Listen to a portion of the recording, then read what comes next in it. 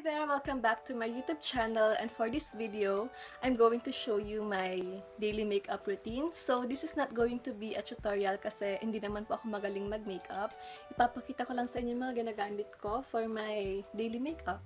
So, kakatapos ko lang maligo, wala pa akong nilalagay sa face ko na kahit ano aside from the soap na ginagamit ko everyday for my face. So, starting off, um, I use this cream na binili ko sa Watsons as my base na rin for my makeup kasi hindi ako gumagamit ng foundation for my daily makeup kasi feeling ko mabigat kapag nagfa-foundation. So, etong cream lang yung ginagamit ko kasi meron din itong UV protection na super kailangan natin everyday.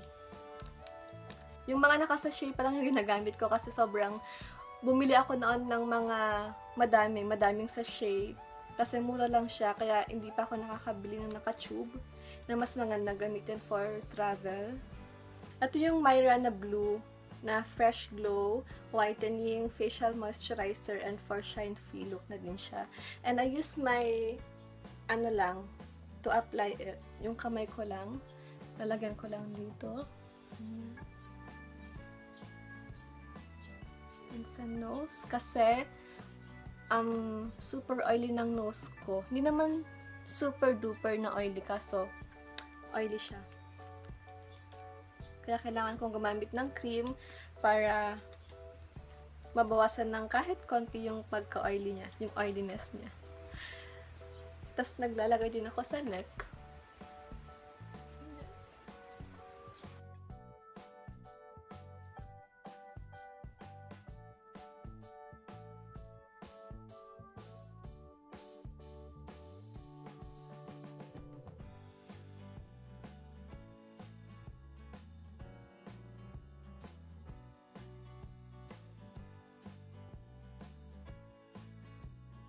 So, after ko maglagay ng cream, ang next na ginagawa ko is my eyebrow.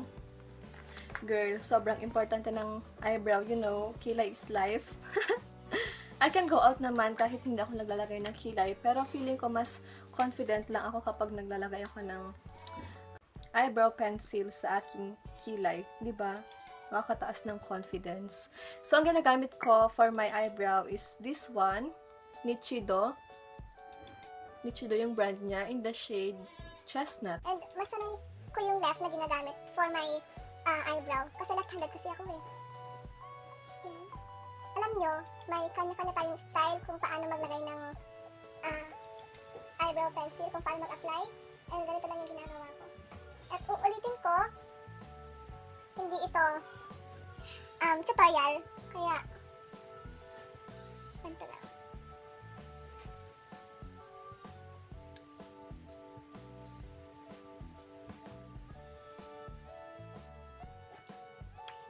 Tapos, i-blend ko lang siya using a spoon.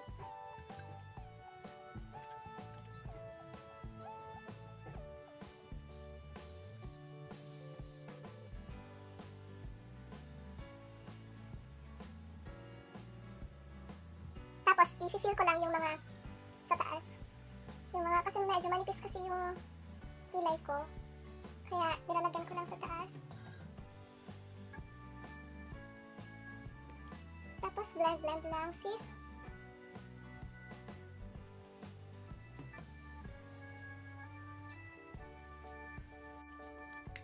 So, tapos na yung kilay ko. Pantay na ba? okay na yan. Tapos, next na ginagawa ko ay cheek tint.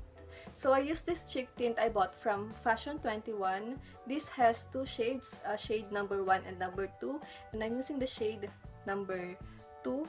And I use my finger to apply it. Tapos, ganyan lang. Then, binablend ko lang siya.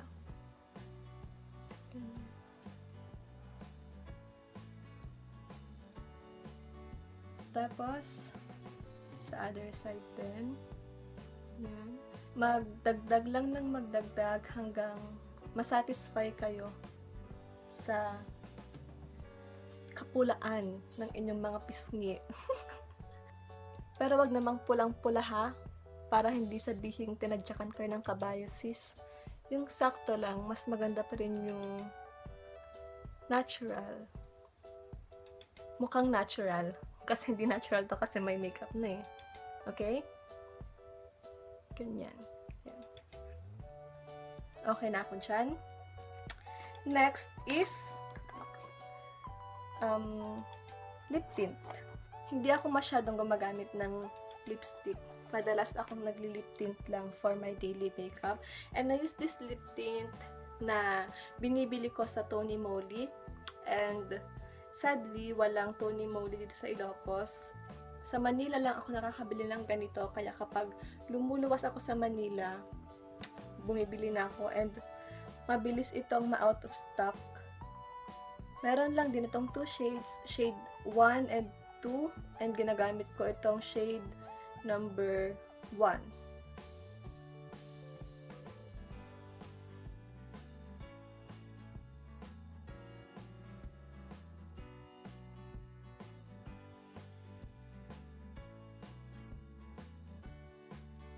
Minsan, kapag bet ko, pinapatungan ko lang siya ng lipstick. Pero minsan lang naman. Sige, try natin today. Maglalagay ko ng konting lipstick lang.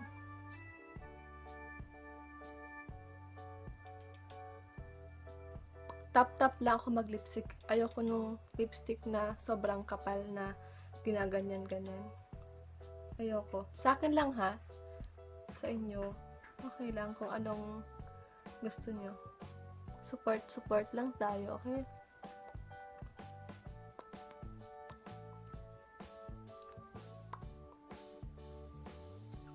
Yan. Okay na ako dyan. Tapos, um, next na ginagawa ko, yung, yung lipstick na ginamit ko is from my bestie. Hindi ko alam kung anong brand to, pero I think sa online niya binili. Wala siyang brand. Pero yung shade niya is shade number 9. Thank you, bestie, for my lipstick. And next na ginagawa ko is, nagpa-powder ako. Ito yung ginagamit ko na powder. Pero ito, Nichido. This is from my BFF. Yung shade niya is Ivory Glow. Pero nung naubos ko na siya, hindi na ako bumili ng bago. Nag-refill na lang ako dito ng Johnson's Baby Powder. Kasi for me, mas gusto ko pa rin gumamit ng Johnson's Baby Powder. Yung original na ano nila, yung white. Yun yung ginagamit ko. Nag-refill lang ako dito sa lalagyan ng Nichido na powder.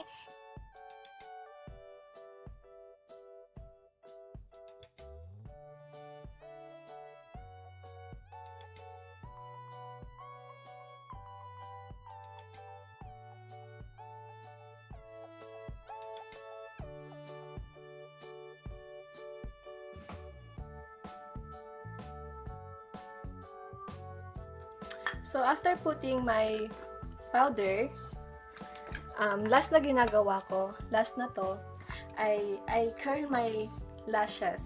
Yes. Yun yung last na ginagawa ko. Kasi feeling ko kapag nag, nag uh, eyelash curler ako before ako mag-powder, feeling ko bumabagsak din yung eyelashes ko. Kaya mas ginusto ko na lang na gawin itong last step for my daily makeup. And I use this eyelash curler from my mom. Alam niyo ba, sobrang laking tulong ng eyelash curler sa mga mata natin kasi kapag naka-eyelash, kapag naka-curl ng maayos yung eyelashes natin, parang mas, ano yung mga mata natin, mas alive, ganyan. Kaya bet na bet ko mag-eyelash curler. Tsaka, hindi ako masyadong nag-mascara kasi wala akong mahanap na mascara na yung mabilis tanggalin. Kasi karamihan sa mga mascara na na-try ko na, sobrang hirap tanggalin. Alam niyo yung point na parang natatanggal na yung mga pilik mata ko ganyan. Kaya, di na lang, curl-curl na lang sis. So, ito yung last na ginagawa ko for my daily makeup. Yan. So, I'm done with my daily makeup routine. Naglagay lang ako ng earrings and necklace to complete my look for today. Yun lang yung mga ginagamit ko for my daily makeup. Super mura lang sila and very affordable. Uh, yung cream, 11 pesos lang siya. Yung, yung, um, eyebrow pencil, 138 pesos. Yung cheek tint, um, if I'm not mistaken, nasa 150 pesos lang ito. Basta hindi siya abot sa 200 pesos. Yung lip tint, um, 198 pesos lang ito. And, ano pa ba? Yung powder, mura lang naman siya. Tapos yung eyelash curler, bigay lang sa akin. So, yun. For me ha, it doesn't matter naman kung mahal or mura yung mga makeup na ginagamit natin.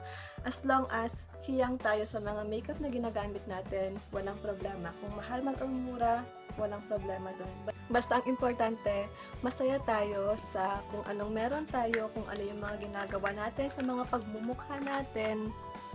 Um, ang isipin lang natin ay yung mga gusto natin, yung mga the things that make us happy.